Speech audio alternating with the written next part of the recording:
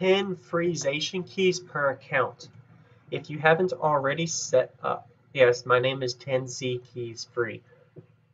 So you need to set up an account, one account per account, you get 10 Zaishen keys. So whether your account is brand new or you haven't done this yet, go ahead and do it. It's 10 Zaishen keys, which is, hey, it's free. So all you need to do is go to Great Temple of Balthazar. This is the second person you're going to talk to right here in Great Temple of Balthazar, the High Priest Zhang.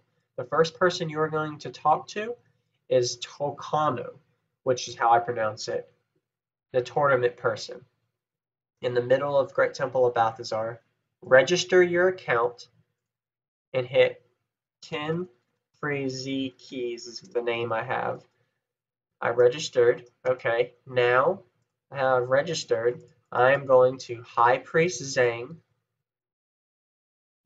and they're going to give me my keys once I get my points. Right now, you notice you have zero reward points. Bam. Now I have 50 reward points. It's this easy, guys.